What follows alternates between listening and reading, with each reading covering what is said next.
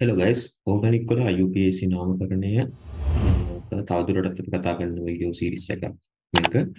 ඉස්සෙල්ලාම මම මේක ලෙවල්ස් තුනක් අපි කතා කරන්න හිතාගෙන ඉන්නවා. පළවෙනි ලෙවල් එකේ මේ සාමාන්‍ය ඇල්කේන ඇල්කීන ඇල්කයින් නාමකරණය. ඊට පස්සේ ක්‍රියාකාරී කාණ්ඩ දෙකක් හෝ වැඩි ළඟට ලෙවල් 3 එකට විභාග ප්‍රශ්න. ඒකට සමහර විට මේ එකට චුට්ට අනුගතලදී වෙනස් වෙන්න පුළුවන්. නමුත් මම පිළිවෙලකට අනු ටික හදාගෙන ඉන්නේ.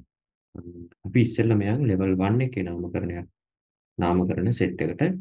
කොට පළවෙනි එක තමයි මෙන්න මේ දිග දිනන ඕන මේක ඉස්සෙල්ලාම අපේ સિદ્ધාන්තය මොකද දිගම දාමේ තෝරගන්න ඕනේ. රයිට් පළවෙනි ස්ටෙප් එක තමයි දිගම දාමේ තෝරගන්න එක. එතකොට දිගම දාමේ තෝරගන්න ඕනේ. ශාකා දාම වලට අවමංක ලැබෙන පරිදි මට මේක දිහා බැලුවම ෆැට් සෙන්ස් වෙනවා. මෙයාට එක දුන්නොත් 2 3 4 එහෙනම් මෙයා තමයි දිගම දාමේ මේ ටික ශාකා දාමේ අංක 2 කියන කාණ්ඩයට ඇවිල්ලා. ඕ කෙනෙක්ට පුළුවන් මෙතෙන්ට එක දෙන්න නැතුව මේ කාබන්ට එක දෙන්න ඒත් කිසි ප්‍රශ්නයක් නැහැ. දෙකම හරි. රයිට් මම මේ විදිහටම තියෙන දෙන්න. එතකොට මෙයාට එනවා මේ පැත්ත 2 මෙතිල් කාණ්ඩය. මෙහෙම ලේබල් කරගන්න එක ලේසි. රයිට් කෙනෙක්ට අහන්න පුළුවන් ඇයි අනිත් පැත්තට ගත්තේ නැති කියලා. එහෙම ගත්තොත් 1 2 3 4 එන්නේ. එහෙම වුණොත් එහෙම මොකක්ද වෙන්නේ මේ 2 මෙතිල් 3 මෙතිල් වෙනවා. එතකොට එයාට අවමංකයක් නෙවෙයි වැඩි අංකයක් ලැබෙන්නේ. දැන් දැන් නාමකරණය කරන්න පුළුවන් ශාඛා දාම ටික 2 මෙතිල් මව් දාමේ කාබන් 4යි නම් 4 නම් කියන බියුට් තනි බන්ධන තියෙන්නේ නම් A 2 මෙතිල් බියුටේන් රයිට් පළවෙනි එක්සැම්පල් එක. මේ ආයේ ප්‍රශ්න තියෙනවා නම් කමෙන්ට් සෙක්ෂන් එකේ කමෙන්ට් කරලා අහන්න පුළුවන්. ඊළඟට දෙවෙනි එක ආයේ දිගම දාමේ තෝරගන්න ඕන. දිගම දාමේ තෝරගන්න ඕන කොහොමද? අපි පිළිවෙලක් කිව්වා. මොකක්ද ඉස්සෙල්ලම ප්‍රධාන ක්‍රියාකාරී කාණ්ඩයට අවමංක එන්න ඕන ඊළඟට බන්ධන ස්වභාවයට අවමංක එන්න ඕන ඊළඟට ශාඛා දහම වලට මේ ප්‍රයොරිටි එකෙන් තමයි අපි බලන්නේ ඉස්සෙල්ලා බලනවා ප්‍රධාන ක්‍රියාකාරී කාණ්ඩයක් තියෙනවද කියලා නම් එයාට අවමංක දෙනවා ඊළඟට බලනවා ප්‍රධාන ක්‍රියාකාරී කාණ්ඩයක් නැත්නම් බන්ධන ස්වභාවය එහෙනම් එයාට අවමංක දෙනවා. එතන මෙතන ද්විත්ව බන්ධනයක් ඉන්නවා. එහෙනම් එයාට අවමංක දෙන්න වෙනවා 1 2 3 දැන් කැමැති පැත්තකට යන්න මොකද 4 වලින් නවතින නිසා. ඉතින් මට ලේසි මෙහෙ නවත්තන එක. ඊට පස්සේ කාබන් තුන්වෙනි කාබන්ට මෙතිල් කාණ්ඩ දෙකක් එකතු වෙලා තියෙනවා. එහෙනම් මෙයා 3 මෙතිල් මෙයා 3 මෙතිල්.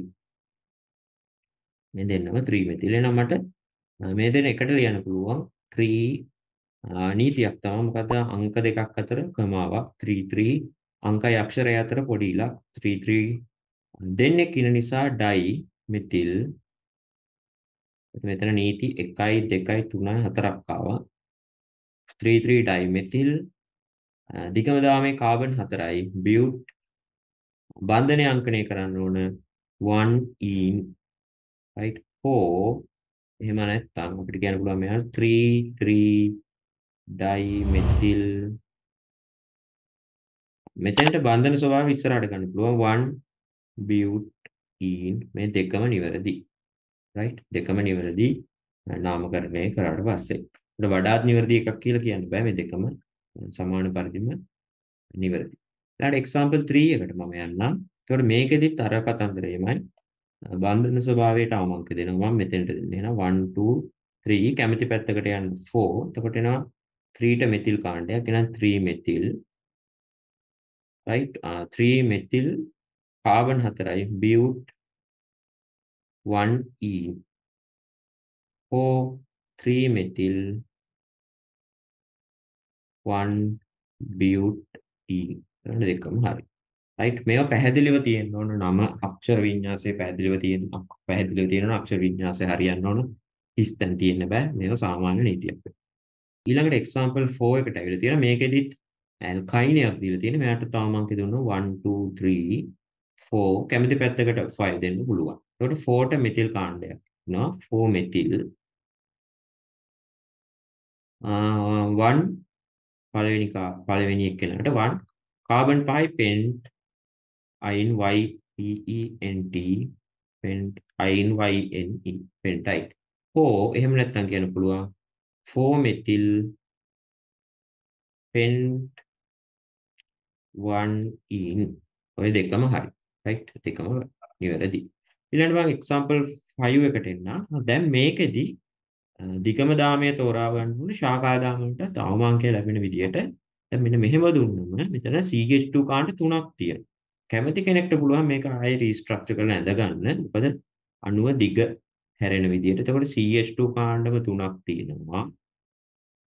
ඊළඟට CH මෙයාට CH3 right ඊට පස්සේ මෙයාට C CH3 CH2 CH3 ඊළඟට CH2 CH2 CH3 right? ඔය පිළිවෙලට එන්නේ. දැන් මේ පැත්ත බැලුවම පේන මෙතන 1 2 3යි මේ පැත්තේ කාබන් 4ක් ඉන්නවා. මේ පැත්තේ කාබන් 3යි ඉන්නේ. එහෙම බැලුවොත් අංකණය කරන් ගියාට පස්සේ මෙයා අංකණය කරන්නම් මම දෙපැත්තෙම 1 2 3 4 5 6 right? මේ උඩට හරි යටට හරි ගියොත් 7 8 නැත්නම් උඩින් 7 වලින් නවතිනවා. හැබැයි මෙහෙට ගියාම 7 8 9 right ඔය විදිහට අංකණය කරන්න පුළුවන්. එහෙම ගත්තොත් එහෙම මේ මම මේක ටෙස්ට් කරගෙන ඉන්නම් මේ ටික. අත මෙයාට එන්නේ කොහොමද 5 මෙතිල්.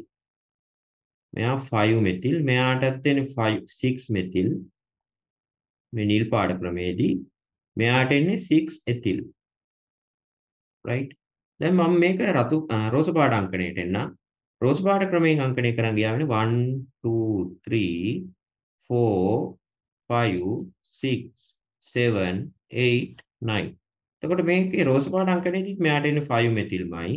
හැබැයි මෙන්න මේ උඩ තියෙන කාණ්ඩ වලට එනවා මොකද මෙයාට එන්නේ 4 මෙතිල්. 6 වෙනුවට 4. මෙයාට එනවා මොකද්ද? 6 වෙනුවට 4 එතිල් රයිට් මෙන්න මේ වගේ අණුවක් තමයි හොඳ උදාහරණයක් අපිට අංකනේදී දැන් මෙතන නොසලකා මේ දෙන්නගේ කොහොම ආවත් එකම තැන එන්නේ නමුත් අනිත් අවස්ථා දෙකේදීම රයිට් මෙන්න මෙතනයි මෙතන මේ අවස්ථා දෙකේදීම අංකය අඩු අංකයේ එන්නේ රෝස පාටින් කරලා තියෙන අංකණයට රයිට් ඒක නිසා මට නම ලියන්න පුළුවන් එතකොට දැන් ඇල්ෆබෙටිකල් ඕඩර් එකට හදාන්න තියෙන්නේ අංකය වැඩි වෙන පිළිවෙලට නෙමෙයි අංකය වැඩි වෙන පිළිවෙලට හදාන්නේ අංක දෙකක් ආවොත් අපි වඩාත් නිවැරදි විදියට ගන්න ඇල්ෆබෙටිකල් ඕඩර් එක වඩාත් නිවැරදි නෙවෙයි නිවැරදි විදිය. එතකොට E අකුර තමයි ඉස්සෙල්ලා වෙන්නේ. එහෙනම් 4 එතිල්. මෙයාට එනවා 4 එතිල්. ආ දැන් බලන්න මෙතිල් කාණ්ඩ තියෙනවා කීයක්ද? දෙකක්. එහෙනම් අංකය වැඩි වෙන පිළිවෙලට ලියන්නේ 4 5 right? හතරටයි පහටයි. 4 5 දෙන්නෙක් ඉන්න නිසා ඩයි මෙතිල්. කාබන් ඔක්කොම 9ක් ඉන්නවා. non a. Right? තමයි නිවැරදි නාමකරණය වෙන්නේ. Right? අපි දැන් example 5 එකේ ඉන්නේ. දැන් ඊළඟට යමු example 6 එකට. Right? මේකෙදි දැන් ආයෙත් මොකද්ද වෙන්නේ? කෙනෙක්ට ඔන්න මම ආයෙ අර තර්කය එන විදිහට හදන්න. මෙයා 1 2 3 4 5 දෙන්න පුළුවන්. මෙහෙම දුන්නොත් බන්ධන බන්ධනයට එන්නේ 3 ඉන් එකක්. right? ඉතුරු කාණ්ඩ දෙක 2 3 di methyl right? 2 3 di methyl මම ආයෙ රෝස් පාටින් අංකණය කරන මේකේ ඉන්වර්ස් අනිත් පැත්තට මෙයා 1 2 3 4 5 එතකොට මෙහෙම ආවොත් එන්නේ මෙයාට මොකක්ද එන්නේ? රෝස් පාට ක්‍රමේ 2e මෙයාට එන්නේ 3 4 මෙයා 3 මෙයා 4 වෙනවා. right? කලින් හිටියේ කොහොමද? මෙයා මෙයා 3 මෙයා 2 දැන් කෙනෙක්ට ප්‍රශ්න කරන්න පුළුවන් ශාකාදාමයට නේද අවමංක වෙවිල්ල තියෙන්නේ කියලා. නෑ. අපි ප්‍රමුඛතාවය දෙන්නේ කොහාටද? ඉස්සෙල්ලම බන්ධනයේට. ප්‍රධාන ක්‍රියාකාරී කාණ්ඩයේ බන්ධන ඊළඟට ශාකාදාමයට එහෙනම් මෙතනදී මෙන්න මේ වඩාත් නිවැරදි නාමකරණය වෙන්නේ 2 in හරහා යන එක. එහෙම ගත්තොත් එහෙම රෝස පාට අංකණය ඒ කියන්නේ මොකද්ද? 3 4 ඩයි ඉතිල් sorry 3 4 dimethyl ප්‍රධාන දාම කාබන් 5යි පෙන් 2 in 4 එහෙම නැත්නම් අපිට කියන්න පුළුවන්. 3 4 di metyl 2 pentene right. ඔය දෙකම හරි. එතකොට දැන් අවස්ථා මේ දෙකම හරි. දැන් ඔයාලා චෙක් කර ගන්න ඕන නම් අර වැරදි විදියට තියෙන කෙනුත් අර අපි දැන් ඊළඟ ක්‍රමයට ගත්තේ. අපි නිල් පාට අංකණයත් අපි කරලා බලමුකෝ. නිල් පාට අංකණයෙන් ගත්තම එන්නේ කොහොමද? 2 3 di metyl 3 pent e. ඕකනේ මේකේ අණු ඇඳලා බලන්න. රයිට් මම නිල් පාට ක්‍රමයෙන් එක ආය අණු ඇඳලා බලන්නම් pent e කියවම කාබන් 5යි රයිට් මම අංකණය කරන කැමති විදිහකට ඕන පැත්තකින් පටන් අරගන්න. කාබන් 5යි තුන්වෙනියට දිත්ත බන්ධනයක්. එතකොට තුන්වෙනියට ආයේ මෙතිල් එකක්. CH3 දෙවෙනියට මෙතිල් එකක්. CH3 right? ඔන්න අපේ ආපු එක අණුව මෙයාට CH3 මෙයාට CH3 මෙයා H. right? ඊළඟට මම මේ විදිහට රෝස පාට තියෙන අංකණය කරලා බලන්නම්. එතකොට එනවා කාබන් 5යි කැමති පැත්තකට අංකණය කරන්න 2 3 4 5 2 ඩබල් බොන්ඩ් එක 4 CH3 3 CH3 දැන් ඉතුරු සේරම හයිඩ්‍රජන් right? දැන් මේ අණු දෙක දිහා බැලුවම right? මේ අණු දෙක දිහා බැලුවම බලන්න වැරද්දක් පේනවද කියලා. CH3 කාණ්ඩය right? check කරා. CH3 check. CH3 check CH3 check. ඊට පස්සේ CH3 CH3 තමයි දැන් මේ දෙකම ආසන්න දෙකම දිහා බැලුවම බලන පැත්ත අනුව සමාන වෙනවා. right? නමුත් අපි අංකණය කරලා කියන්නේ දීලා තියෙන අංකණයෙන් අනුව ඇඳලා නාමකරණය කරන්න ගියාම මේ ක්‍රම දෙක පැත්තෙම ගිහිල්ලා එකම අණුව ඇඳත් වඩාත් නිවැරදි නාමකරණය කියලා නීතිය අනුව අරගන්න මෙන්න මේ රෝස් පාටින් කරන එක. right? හැබැයි මෙයා දැන් අපිට මේ මේ නාමකරණයේදී මෙයා නිවැරදි කියලා අපිට කියන්න පුළුවන්. right? මෙයා නිවැරදි, මෙයා වඩාත් නිවැරදි එක්කෙනා. දැන් MCQ එකකදී මේ වැදගත් දැන් MCQ එකකදී මේක මම 1 කියලා අරගන්නවා මේක 1 A මේක 1 B. මේ MCQ එකකදී තව උත්තර පහක් එක්ක 1 ඇවිල්ලා තිබ්බොත් 1 හරි. Right? නැත්නම් අපි හිතමු තව උත්තර මොනවා හරි තියෙනවා 1 1 එක තියෙනවා තව 2 තව උත්තර පහක් මොකක් හරි 3 4 5 නෝ 1 ඇවිල්ලා තිබ්බොත් 1 හරි. තව උත්තරත් එක්ක 1 ඉන්නවා 1A ඉන්නවා. 3 4 5 ඉන්නවා නම් 1ට වඩා 1A තමයි නිවැරදි right 1 වඩා 1A තමයි නිවැරදි තර්කානුකූලව අන තර්ක කරලා ලකුණක් ගන්න පුළුවන් මේක උත්තර දෙකම හරි නේද දෙකම අනුවදින්න පුළුවන් කියලා. හැබැයි වඩාත් නිවැරදි නාමකරණය 1A. 1B තිබ්බත් ඒ දෙන්නම එක සමානම හරි. ඒක නිසා උත්තරය හතර ඇතුළේදී 1A 1B දෙකම තියෙන්න විදියක් නැහැ. right මම හිතනවා ඒක පැහැදිලි ඇති කියලා. ඊළඟට යන් example 7 වලට. Right. අපි example 7 එකට යන්. දැන් මෙන්න මේක හොඳ උදාහරණයක්. අපිට කලින් කතා කරපු එකම තව පැහැදිලි කරගන්න. මේකෙදි දැන් අංකණය කරන්න ගියාට පස්සේ කෙනෙක්ට හිතන්න පුළුවන් මෙයාට 1 දෙන්න පුළුවන්. 2 3 4 right? ඕක තමා දිගම දාමය කියලා. 5 6 7 කෙනෙක්ට ඕක ඉන්වර්ස් හිතන්නත් පුළුවන්. ඒ කියන්නේ මෙයාට 7 දෙන්න නැතුව 1 2 3 4 දීලා 5 6 7 දෙන්න පුළුවන් කියලා. නමුත් නීතිය තමයි මොකද්ද? දිත්ත හෝ ත්‍රිත්ත බන්ධනයට අවම අංකය එන්න ඕනේ. මේ නීතිය අනුව මෙයාට තමයි 1 2 3 දෙන්නේ. මේ දෙපැත්තම සමානයි. කැමති පැත්තකට යන්න පුළුවන්. right 4 5 6. හදිසියවත් මේ එක පැත්තක කාබන් එකක් වැඩි වුණොත් අපි අනිවාර්යෙන්ම අණුව ගෙනියන්න ඕනේ කාබන් ගණන වැඩි වෙන පැත්තට. මම හිතන එක නෝට් කරලා තියන්න. එක් අග්‍රයක හෝ අග්‍රයක හෝ කාබන් ගණන වැඩි නම් වැඩි නම් ආ ඒ පැත්තට තමයි යන්න ඕන. මම එක වගේ අණු දෙකක් කතා කරන්නේ නැහැ. ඒ පැත්තට තමයි අනිවාර්යයෙන්ම අණුව අණුවේ අංකණය යන්නේ. දැන් මේක දිහා බලමුම පේනවා මෙතන ඉන්නවා 3 තුන් දෙනෙක් එකතු වෙලා 3 ප්‍රොපිල් එකක්. right 3 ප්‍රොපිල් එකක් ඉන්නවා 1 in 6 දෙනෙක් ඉන්නවා hex. එහෙනම් මට කියන්න පුළුවන් 3 ප්‍රොපිල් 1 hexene කියලා. 4 x1e e. both are same right 3 propyl hex 1 ene e කියලා ලියන්නත් පුළුවන්. අද එතකොට ඒ ක්‍රම දෙකෙන්ම ගන්න පුළුවන් මෙතන විශේෂ අණුවක් මේක example 7 එක. Right ඊළඟට example 8 එකට යන් අපි. දැන් මෙතනදී ආයෙත් එනවා ප්‍රධාන ක්‍රියාකාරී කාණ්ඩයක් මෙයාගේ ඉන්නවා.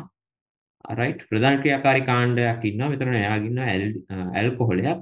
ඇල්කොහොලේ ප්‍රධානියෝ නම් කියන්නේ කෝල් ප්‍රධානියා මේජර් මම කියලා ගන්න. මේජර් වුණාම.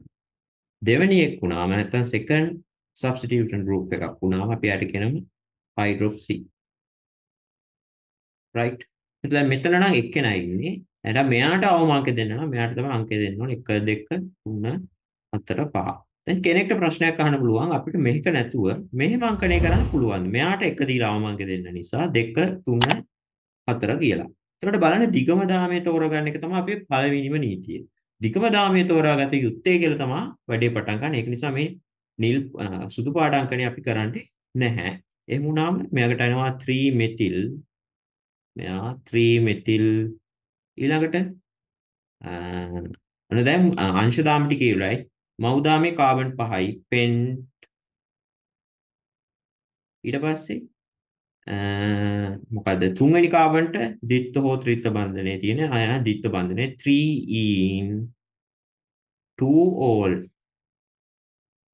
right ඔන්න ඔය විදිහට එනවා. දැන් මෙතනදී කෙනෙක්ට ප්‍රශ්නයක් අහන්න පුළුවන් ඇයි E එක සයිලන්ට් වෙනව නැද්ද? ඔව් සයිලන්ට් වෙනවා.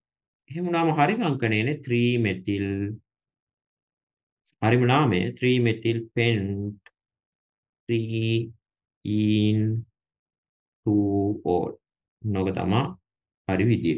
රයිට් මොකද මෙතන හේතුව තමා මොකද අපේ නීතියක් ආවා. නීතිය තමා අපේ නීති වීඩියෝ එක බලන්න. නීතිය මොකද්ද? බන්ධන ස්වභාවයට ඉදිරියෙන් බන්ධන ස්වභාවයට ඉදිරියෙන් ස්වරාක්ෂරයක්. ඒ කියන්නේ A E වවල් එකක්. I O U තිබුණොත් බන්ධන ස්වභාවයේ අග අකුර. කියන්නේ ඊන් ඒන් අයින්. මේ තුනෙන් E එක සයිලන්ට් වෙනවා කියන එක. රයිට් ඔන්න දැන් අපි ලෙවල් 1 එකේ ටික ඉවර කරා. අපි දැන් ලෙවල් 2 එකෙන් අවකරණ වලට යන් ඊළඟ වීඩියෝ එකේ. Bye.